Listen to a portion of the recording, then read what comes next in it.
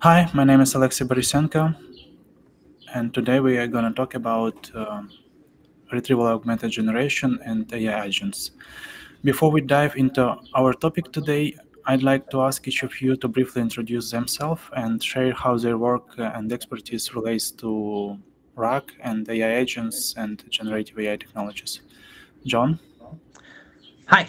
So thanks for having us on here. So yeah, we're interested in talking to you about our domain-specific agents and how we use RAG. My name's John Parello.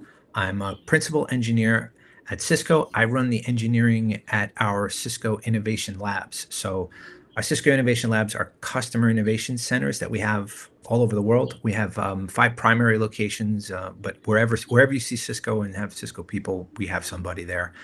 Uh, what we try to do is work with customers on their problems and then see how we can use Cisco solutions or any solutions um, and help them with their with their problems. It, it, we wind up being very forward looking, uh, looking at the future. And right now, you know, it's pretty easy to look at the future, right? Like we used to have to be like, oh wow, what's going to be coming up? What's going to be? It's it's all AI all the time, and that's what we're seeing. So that's what we wanted to talk to you about. Um, what we're seeing with domain specific agents specifically using RAG and adding, adding our own content to agents. So that's what we'll talk about. Thanks for having us. That's awesome. You know, all the developers out there, we're going to have like some cool stuff coming out for you. So happy to talk yeah. to you. Yeah, thanks a lot, John. Uh, Cody? Hi, yeah, thanks for having me. I'm Cody. I'm a software engineer, work in the Cisco Innovation Labs team with John. Um, and I originally kind of got into this space as we were responding to different projects that were coming in from customers that we had. And then at some point kind of stepping into more of an r&d space of looking at what does the future kind of hold for uh, for ai agents and looking at can we kind of project where things are going to go and um, you know start to build kind of processes and mechanisms um, for where we see it to go. So i've been working with uh, uh, llms agents um, for about maybe a year now yeah thanks for having yeah, me yeah. yeah thanks cody and flo uh, yeah, hey everybody. So I'm uh, Flo Pachinger. I'm a colleague of Alexi. So I also like focused a lot on RAG, on on agents, and yeah, like you maybe might have seen like my other video on on this YouTube account where uh, how to put uh, like how to create an API in the AI assistant with Cisco Catalyst Center there. So uh, nice to nice to be here. Yeah, thanks a lot. And my first question uh, we can find a bunch of agent uh, workflow with Excel files, for example, um, agents that can retrieve information about latest news or stock prices. Which agents do you think can help network engineers, DevOps, and app developers in their work? So, which agents uh, can they use with uh, with? I mean, I, the thing that we're seeing now is that there's a proliferation of proliferation of agents everywhere and everybody's trying to add their own custom data to it to to make it specific to what your problems are. So one it could be for net for us in networking it's like we want to talk to our gear we want to find out what's going on in our network. If you're in hr you want to find out what's going on in your in your hr uh, program you want to find out about employees. If you're in finance you want to get stock prices and things. So what's going on is everybody's starting to grab these and make domain specific agents for their problem for their company. We were just talking about this before the before we went live. If you could roll back the clock to 1996 and say what was going on with web servers, your question is what kind of web servers should I be using? That that was what the question would be in my company. Well, everybody's going to make a specific web site given whatever web tools that they can find for their business. And that's what's going on. People are going to constantly be building up these agents. So that's what we're seeing. It, it almost doesn't matter it, which ones they are. It's like find the tools that you that you that you're comfortable with, and the ones that you can work with, and the ones that you can pay for. But then start adding your own your own information to it. And then I think Cody, we could talk about the ones that you've liked because so Cody's been working on this stuff and picking the ones that he likes. So there's ones that you like there. It's like it's like which ones are cool to work with. Any one of them where you can add your own data is going to be the right one. But there's some that you're you're working with. So Cody, why don't you mm-hmm. talk about some of the ones that you yeah, think? well, there's kind of a few ways that uh, that I think about it. One is um, kind of the typical retrieval augmented generation where you're trying to essentially take large language model and augment it with you know a specific data that that you care about. Another way is another way we think about it is how do we um, how do we interact with APIs, for instance? So if we have a Thousand Eyes API, can we create a natural language assistant on top of that that can interact with systems? And then the final kind of approach that we looked at is model fine tuning. So if we have a very large data set, um, how can we actually kind of uh, subtly retrain a model, an already powerful model, with the data we have? So we've looked at all these different techniques for how do we create agents um, that can kind of best achieve results, but also interact with uh, with the environment that we have. So interact with services, interact with APIs. Um, so one early one I built was essentially an agent around the Thousand Eyes API, and that gave us kind of full access to natural language um, prompting towards the Thousand Eyes API. Yeah, one of the ones we liked was uh, right, Cody. If you talk about maybe uh, we were looking at the the gorilla stuff where we say when you take a bunch of different agents and you start to work together with them. So that was a fun one to work with. Like if if I had to say if there's a one to get used to, it's like one of those, right? So maybe talk about that one. Um, Gorilla, yeah. So Gorilla is an interesting project that came out. I think uh, UC Berkeley is the one that uh, originally developed it, but they were looking at uh, how do we train a model that um, it natively interacts with APIs and services.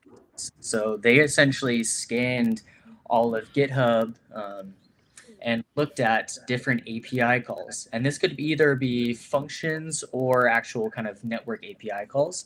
And they fine-tuned a llama model um, that can now accurately generate an API call. So an example, let's say I want to, um, through natural language, make an API call to Uber requesting a ride, right? So if you ask a typical uh, large language model, get me a ride um, from A to B uh, with this type of car, it's likely not going to have, you know, the understanding of how to translate that natural language into the, uh, correct API call. But this uh, model that they created can now easily make that translation. So what are the few things that it does? It finds the correct API um, call that it needs to make, and it'll correctly, in most cases, fill in the parameters that it needs given the natural language into the kind of structured API um, that it had. So this is kind of a powerful model because it allows you to now interact with uh, with services. It makes that translation between just natural language and now kind of the world of services that we live in. Yeah, maybe taking a step back. There's there's like three things that that Cody and I we were talking about when we were thinking about this topic. You can fine tune an LLM, as Cody was saying. It gets expensive. It's it's not real time. An example of that might be like fine tuning an LLM to make an expert on Ansible or something for Cisco Gear. Like, okay, create an Ansible playlist for you know for us on Cisco Gear. You could fine tune. You could sit there and you could fine tune it. But with RAG, what you're doing is saying, well, wait, hold on. I have something that's trained well enough. I want to amplify it with whatever kind of data. So that would be more like I could have something that's trained, and maybe I want to go to all the Cisco product sheets and add the Cisco product sheets to that to make it smarter and i can ask the question which how much power does this one use how much how much energy is being used on this from the product sheets so that's i didn't have to fine tune that model but with rag i can add to all the information that's there but then the benefit of, going the next step is saying okay i want to add tool calling where i want to do live api and that's what you were talking about. Do i want to get live information from stock tickers? We worked a lot with electricity maps finding out what is the real time carbon usage of somewhere so we know is your switch running on diesel coal or natural at the at the time right? So there's three levels. You can you can train it you can enhance it and then you can do live api calls and this whole rag um, effort really works well in that you can add data but then also you can make a, an agent that is domain specific then you don't have to fine tune it. You fine tune it enough, but then add the information from your site. So fine tune your web web server from somewhere, and and host up the documents in your company. And it, that what you've done is you've made a web server that's that's custom. You you want to do that same thing with agents, but that's like you're in 3D now when you're doing it in AI. Before you were doing 2D, where you were just giving it data and you were hosting website. Now you're like, whoa, I could add all this stuff to it. That's where where you want to go. You want to start building these domain specific agents and and the the whole rag motion is is what does that and cody's been becoming like an expert on this not becoming like an expert he is an expert on this stuff he's been sitting there with uh, with us going through all of the different types of things that we're talking and building them for us so he's built a whole bunch of a whole bunch of um, agents for us for the innovation labs yeah, and I would just mention here too, there's kind of two separate problems that we've looked into. One is how do we achieve accurate results? So, you know, if you look at the world of LLMs, it's crazy how much um, you know progress has been made in terms of accuracy benchmarking and we've talked about some of the you know ways that you can achieve accurate results even real-time accurate results being rag or fine tuning but the other piece is how do we then make these models interact with the outside world? And that's a big piece of the agent um, kind of um, logic and mechanism there as well of like now we have maybe accurate results but how do we utilize those? How do we create a runtime that takes those generated results um, and uses them in a um, you know a useful manner. So again i can take the example of like api calling. So if i take the gorilla model and i ask it can you um, can you write an api call for me to get an uber ride from a to b in uh, luxury?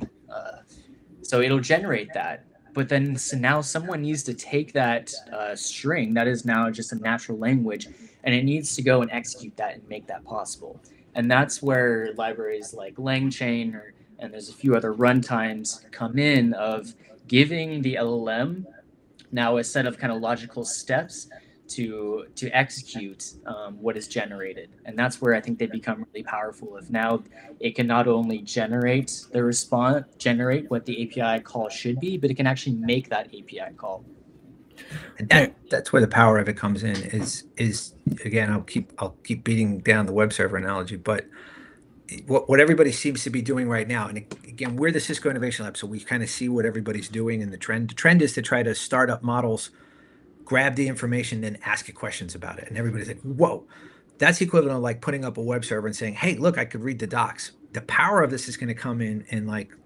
very quickly where you can then enact change and actually do something. And that's where you need the live API calls. When, you know, how many switches, uh, how many switches are running uh, are running this much power right time? That's a question. But the power of that is going to be, hey, turn off all of the ports in my in my company that have that are not used right now or have low utilization uh, for for energy, like the PoE ports or something like that, or any kind of an interaction. That's going to be the next level. So let's get some more questions. We we went down that, that whole topic. we could talk forever on this, but yeah.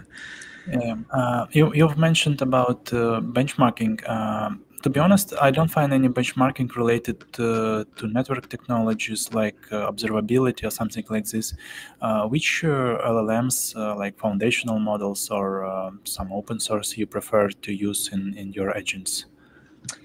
Um, I've used a few different ones. Um, I mean, the Llama models. So I primarily, when it comes to open source models, I will go through Hugging Face and I've tested a few different, uh, I would say, a good amount of models from Hugging Face. But for us, I think we're not as much focused on the actual model choice um, and development of kind of agents around models. More looking around kind of the um, the scaffolding around building agents and um, how do we see organizing and um, and interacting between agents. So I would say yes. I've looked at models like the Llama Llama Two models. Um, pull up a few ones from Hugging Face, but again, our focus has been less on the specific types of large yeah. language models and more about the frameworks and scaffolding that we use around them. Or the volume, right? Like so, DevNet, right? Our, most of the DevNet users and stuff, we're all networking people. You know, one or two I'll, I'll, put it in networking terms. One or two switches are not interesting. T- talk to me when you have 10,000. You know, that's the type of, of thing that people are working on. So for us, we're taking that same approach when it comes to LLMs. One or two are interesting and we're going to keep playing with them, but we know that people are going to have, you know, thousands of these things running. And what happens when you hmm. go from the classic pets, I have a pet and now I have a cattle, I have tons of these things and going in there. And that's what we were doing. So we like to look at the specific uh, models and the specific LLMs, and we have preferences in the ones that we we we use because they're easy to use. but we want to stay neutral to it. And I think that's where Cisco does well. We stay neutral to it, right? The, the internet always wins, right? So AI is going to win this stuff. Which model? Pick the one you like the best, the one that has the language you know. If you know Go, you're going to pick a different one. If you most of the stuff's in Python, so hey, go go with the one you know the best. And, and Cody, if you got the ones from Hugging Face or something like that, those are the ones that that we go to. That, they're the ones that are the popular ones. Right. Yeah. I, don't know if are- anybody's really getting to the point of benchmarking these things yet, where it's like I think everybody's just happy to have one, right? I think they're happy to have one and work with it, and then please God, don't run up my bill. Yeah That's i think what they're trying to um, things are changing so fast especially in the open Yeah. source world now that i mean you have your staples the gpt-3 gpt-4 that i've you know used in several agents um, but i think we're starting to see for certain specific tasks like um, tool calling there's now fine-tuned llama models that can maybe compete with the accuracy or get close to it but are um, are free. You're essentially hosting it yourself. The burden becomes your own infrastructure not the api cost um, so I think it's kind of a for me it's a bit of a trade-off. So if I want to build an agent quick and easy, I might start off with something like GPT-4 and utilize API calling and LangChain. Um, but you know, as we scale and maybe want to open this up within enterprise, okay, now let's move away from something like GPT-4 and look for the specific agent um, actions that we're trying to do. What type of open source model um, can we use? Is there a fine-tuned llama model for instance a classic example is code generation so um, there is github copilot that came out and um, a few other kind of variants of it that use um, you know gpt uh, 4 and essentially we'll be generating code um, code completions um, using that model. But there's other models that came out that were fine-tuned for code generation that can now compete um, with those models. And you can essentially download install that from hugging face and then install that into your own workspace and get a similar result so again i think the models are evolving so fast that we've looked more at kind of the agent mechanisms as opposed to models themselves I think maybe one thing, if I could, again, Cisco Innovation Labs, and then talking to the audience of, of you all of DevNet, we know you guys are developers. You- You're you're great developers, and you're the people that that start to work on this. So we tend to focus on on which model, which code, and everything.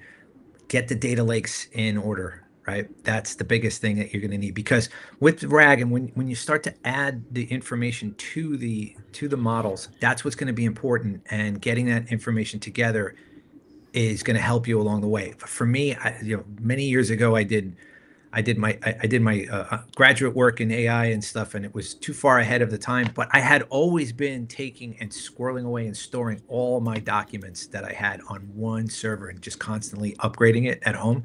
And now, once the models are there, it's like, holy cow! I've got all this information. I could just put a, I could just put an agent in front of it, and I've unlocked all the data you know, clean out your garage is one thing. And then what we'll do at Cisco is we're going to try to experiment on on the different ones and then try to help you organize this stuff. We're going to be coming out with tons of stuff like Motific and these other things and stuff that we're coming out from the lab. When we have those, we're going to we're going to help you on that. I think getting the data together is probably really important right now. Um, but let's go to another question. Yeah. Uh, yeah, Flo, you recently released um, Assistant for uh, Catalyst, uh, well, where you also utilize retrieval augmented generation. What questions do you have to regarding these technologies and topics that we discuss? Yeah, sure. So like, um, like uh, I think this this conversation is really great, and and uh, the the discussion about it, the agents or agent frameworks, or like how where we are going, should be definitely LLM agnostic. So basically saying, okay, um, I I want to choose this specific LLM, and uh, based on that, I can put um, like more my functions uh, towards this LLM, or like um, basically if I want would like to uh, switch the uh, the agent or would like to replicate it or use it in another way, I think this is definitely very important there and um, also like uh, to you to your uh, like uh, statement john is like um, definitely bring your data lake data warehouse lake house wherever what you would like to call yeah, like bring it definitely together Yeah. and also yeah. like have like a, a proper um, like a proper understanding there and also uh, and uh, a process how to put the data together and how to put it like specifically in in a in a vector database. Um, uh, like this brings me actually to my question about and i think it's very important about the, the chunking methods or the chunking of the data and embedding into the vector database. So this whole uh, process which is of course very important for rag um, do you have any um, uh, like cody or john in a way do you have any like best practices or any key learnings there for the audience? Uh, how to chunk the data how to embed it into a vector database um, and and then like how this this whole process looks like um, maybe to explain a bit like but mostly about the key learnings i'm, I'm asking mm-hmm. Yeah, so we've looked into using a few different vector databases. So first of all, looking at kind of what database um, are you wanting to work with? Do you have, you know, something that you are already familiar with? So, you know, something like MongoDB, Elasticsearch. So we've utilized Elasticsearch um, for that because um, we already had kind of a, a cluster, Elasticsearch cluster running for us. So I think just initially choosing a database that works for you that maybe you're already familiar within your stack. Um, and then we've looked at just kind of uh, varying the chunk sizes and trying to see, um, evaluate accuracy based on chunk sizes. Um, but I would say in the last kind of six months or so, I've focused more on the kind of agent side of how do we interact with the outside world as opposed to how do we optimize the RAG process. So uh, I might throw the question back at you actually and say, in your experience with the Catalyst, um, what were some of the design choices you had there? Yeah no like i'm i'm happy to. So like this is the um like uh, there are like well, of course many many methods there what you can choose. And the, and also like i got many questions especially like coming back from cisco live is that um, how do you like process the data? How you chunk it especially when it comes to um, cisco data sheets and you have like tabular data. How do especially import it into your vector database so that the like lm can understand it specifically? Mm-hmm. and um, i would say the answer uh, is in a way like to basically format it into into, into a proper format. Like for example markdown uh, tables which i experienced is like gpt-4 at least or even 3.5 can understand really good. Um, with uh, with llama 3 also uh, sometimes. So like I have some some I had some difficulties there, but then managed in the end. Um, but I think this is um, also like the itself, like the, uh, the, the format and so on, is definitely very important to bring um, um, uh, all the data in. Um, which then brings me to the other questions. Like, since we are then now at the uh, at the agent level, there is now that we are pulling like a data or like um, the uh, data from vector database and also like asking the LM there, um, what um, and uh, maybe this question for for Cody there is about uh, how do you do this, um, especially now with uh, in an agentic style? Like, um, do you do it now with function calling, these kinds of things, or are you having mm-hmm. like specifically like specific function translated from a natural language then as you said before like um, for example like a classic sql task or something like that and then mm-hmm. translate it and then having the results uh, turned back like maybe like cover more bit of this whole process there we got already some data vector database now with the agent there and how does this like the subtask how how does this look like approximately mm-hmm. there yeah, so I think it depends slightly on the agent framework that you're using. I typically use LangChain, uh, which provides an agent framework for interacting um, that uh, primarily uses uh, different tools, or that is the way that I use them for, for tool calling. I think also a distinction to make is between structured and unstructured data. So some of the really interesting agents we've built is with actually structured data, where we have something like SQL, or um, primarily I've used like Panda data frames in Python and created some really interesting agents where uh, we loaded the structured data into a data frame where we have, you know, kind of named columns and rows.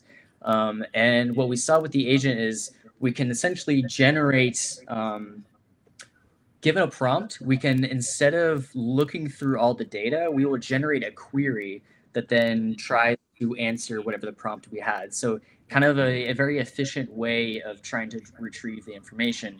Um, we found that this is a powerful way to analyze really large amounts of structured data. So we had we built an agent for Cisco Spaces, for instance, where we had kind of massive amounts of um, of telemetry data coming in from Cisco Spaces and user visits data, and we had kind of megabytes of data coming in that we put into a structured uh, pandas data frame and we could very quickly um, issue requests like uh, what is uh, which day of the week has the highest user um, occupancy? And it would very quickly generate um, a query to, to answer that and return the results because we didn't have to search through all the data we just had to run a query across it.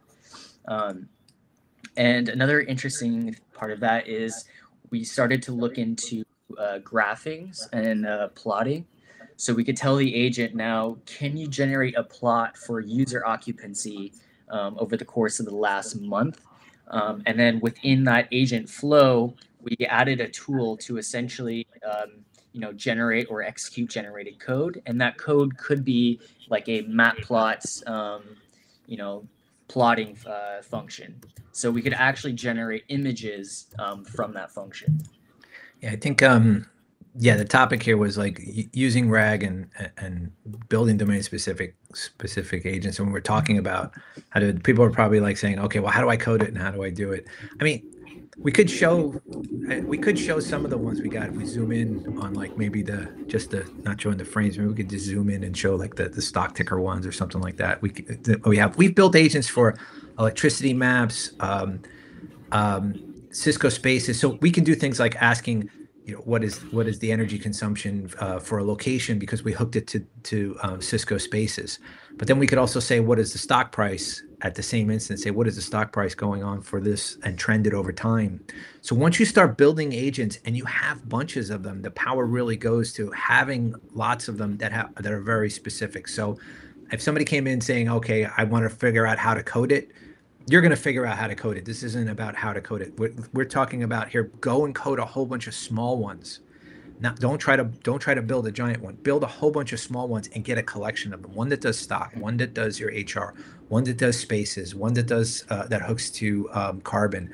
Another one that goes in and talks to thousand eyes. Another one that talks to your kubernetes jobs. Get bunches of them together then you're really going to hit the power of of having domain specific agents with rag doing one is interesting right everybody's going to figure it out chunk size this we'll figure it out right but once you have thousands of them and uh, that are doing different different things, you're really going to see the power of it. That's why when I said, "Hey, what are we doing with Gorilla?" Gorilla was really good at trying to make sense of bunches of agents. So, telling you what we could talk about in some other another podcast when we start to release things. What happens when you have bunches of them and then you want to talk to them? That's going to be the interesting thing. So, if anybody's saying, what do I do with RAG? Build a whole bunch of small ones that are very, very specific. That's the trend that we're seeing with everybody at the labs. Do that. And Cody's been building tons of these of, of these little ones. Um, that's the way I would go for it. One spread, you know, one agent that's really good at one spreadsheet, one that's good at this. Yeah. Look like uh, API is really the key elements uh, to retrieve uh, the data. Uh, how do you guys uh, handle, for example, uh, different HTTP errors, for example, 429 or something like this? Yeah, so when building an API for, um, sorry, building agent for APIs, there's a few different approaches um, that I've looked into. So one approach is you essentially can take an API, open a um, API spec that you want to communicate with, and you create an agent that essentially has like a RAG uh, mechanism that then kind of learns what the API spec is, generates calls, and makes calls um, based on the API spec. Um, I think we've found that while that does work as the open API specs get uh, get large, kind of accuracy comes down a bit. So what uh, the approach that I used more is essentially defining agent tools as specific API routes. So if we think about Thousand Eyes, for instance, I've kind of manually defined different functions that uh, will go out and um, you know get Thousand Eyes agents or get Thousand Eyes tests and define that as a as a function call as a tool that we then give to the agent. So the agent now has a well-defined way of retrieving that. So error handling in that scenario would be done within the function that I define for the API call. Um, and then the uh, how do you handle that within the agent? That's actually a really interesting problem, and I don't know if it's completely uh, understood of what the best way to do it. um, if you just provide an error string to an agent to an LLM, how does it handle that?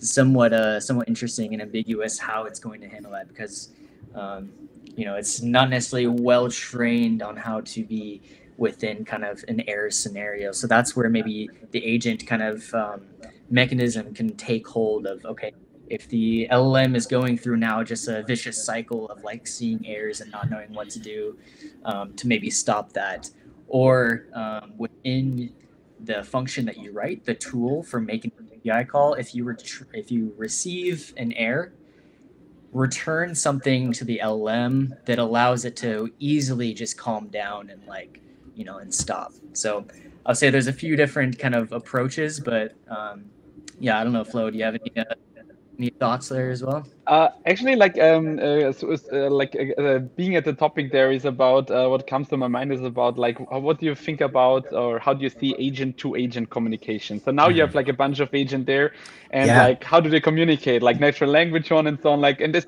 we are not yeah. of course like this is like we're sub, just at the beginning, but how you see how you see as well like the the future will evolve in this way. Yeah, so that's actually a lot of a lot of the research that we've uh, that we've been working on there. So that's yeah. a really interesting problem.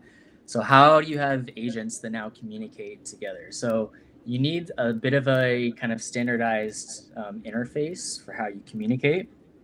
Um, but what we've looked at is how can an agent so we have a natural language kind of barrier of how you how you um, run an agent but there are still certain parameters that maybe the um, you know what you're trying to achieve within the agent needs. So again well let's take the example of you have an agent that is trained to make an uber call. There are certain parameters you need to make an uber call. You need a source location and you need a target location right? So in order for those agents to communicate they communicate over natural language but the uber agent needs to somehow tell the top level agent even though I communicate over natural language, there are certain requirements that I need in order to be run correctly.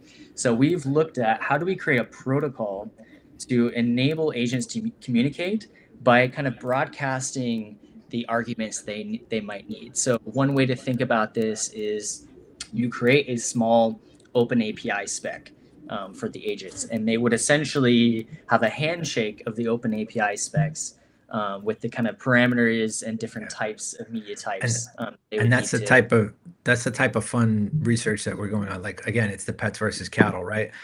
Like right now, when you're looking at RAG, you're like, okay, can I get an agent to be to be smart on one kind of data or enhanced API? Great.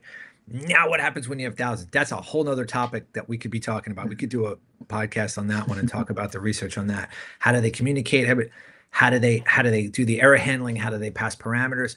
That is so interesting. That's a cisco thing right? What happens when you want to go big and cover a planet with thousands of these things or tens of millions of these things? And how do they interoperate? How do they communicate? That's what we're all about like the protocols between things. That's what we see mm-hmm. cisco like yeah. that's our that's what we want to play right? Taking an agent and having one is great. Thousands unbelievable, right? So how do they communicate? So we could talk about forever on that one. That that's the part that we we're like experimenting with. But I, I'd say to the people that are out there in your enterprises and things, start to get them, start to get your data lined up, then start to build very small agents so that you can you can get to the point that we're at now. Okay, now what can I do when I combine them all together? How are they going to communicate and stuff? It's going to play out a, a lot of different ways, many different protocols and stuff but um, it'll it'll quiesce down into one thing, and then I know we're going to have our products that are gonna are gonna line up with that. We then you're going to have even get it because we think about the future. What happens when you have all those protocols going? The next thing that everybody developer is going to be is, can I check that protocol? Can I look at that thing? Can I secure it? Who's eavesdropping on that one? What happens if this person at the end of that is now misbehaving right? And and it, what the heck is this thing doing? It's it's a vicious actor in this thing and and it's participating in that. That's where this is all going to. We're not there yet. Where everybody's like ooh can i build one? Right? Let's try to build one and then we'll get to that. Yeah. Yeah we have uh, three minutes left. Um, uh, i want to ask you quickly summarize about domain specific agents and about tools that can be helpful for created.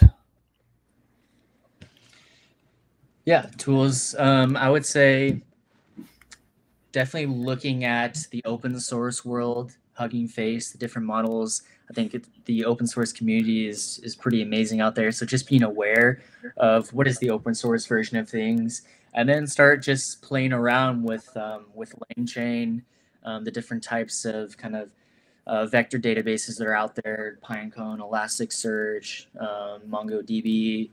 Um, and I think just starting with small examples and then trying to see, okay, how do I then translate that to the data that I have and the data that I'm curious about, um, and looking at, um, you know, does RAG make sense uh, based on the data that I have, or does fine tuning make sense? I think the data that you have is really is what's going to define kind of how you are going to um, to build these RAG agents.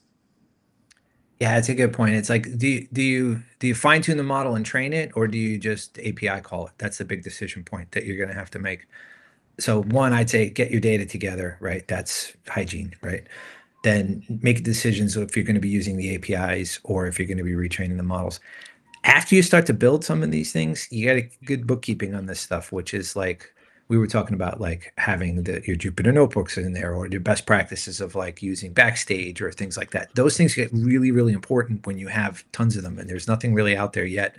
Maybe there will be of that you can keep track of these things but start to use the best practices that you have of. Keep your data get your data in order figure out how to call the apis but then keep track of what you're doing with playbooks and things like that and also from my side, I, I, would like to say is that um, like there are a bunch of the the CLM high, like the score. Um, then like always like new models are coming out and so on. So I'm a fan of like first of all like stop doing focus on one LM which you think is the right one, and then focus on your code, focus on your data because the selection of the LM is just one part uh, of the whole process there, and then afterwards uh, like experience uh, experience more and these kinds of things. And of course uh, when it comes uh, for the agents, like there's some uh, frameworks at least out there, or some also which go in this direction. I would say explore. Um, or but but first, uh, as John said before, like at first get your data together, then go to RAG, or maybe do some fine tuning there, and then actually build on top of these uh, of these yeah. pillars there, and then create basically then you can connect um, all of the uh, agents together. So like I, I, think we are all in the same shoes. Like uh, all of us um, um, checking okay what are the others yeah, yeah. doing? What are the other companies doing? Yeah, what are the other uh, people doing? And then in the end it's like all about experimenting and then yeah like, that's a good point. You know you just you just reminded me you know what's good about keeping it small? Build a domain specific agent on a small set of data. Great. But then if you did that then you could try out a different one and then you'd be able to compare them. If you try to do these things too huge there's no way to compare two of them together right? So right. basically grab your favorite you know problem domain get it just on a spreadsheet and and have one model go against it then do exactly the same thing in the next one. Still mm-hmm. using their rag concepts but trying it with a different one. And then you can you can battle the two of them together. Well this one sucks. This one ran up my bill. This one's too slow. This one's this one was easier to code. And you can make those decisions. From our point of view at cisco it's like do with them all. Like we'll we'll, we'll try to handle them all. There's going to be tons of them you know yeah, I think there's so many different types of techniques too that it's uh, it's hard to tell what's right. You know, we ran into a problem of, you know, we're building a RAG system, but then with the amount of data, even though it seemed like a lot, we had a model that could take really large context length and actually just throwing all of the data directly to the LM in the prompt return a better result than you know creating this kind of vector store. So experimenting experimenting with yeah. just different kind of uh, um, you know types of uh, of retrieval systems and agents is is fun and also may return results that you didn't expect. Yeah, thanks a lot for sharing this information, uh, Flo and I were glad to, to, hear from you, John and Cody, and uh, hopes to see you when you released uh, some of your product. Thanks. Thanks a lot. Yeah, thank, thank you. so much. Yeah, thank you, everyone. Thanks for being here.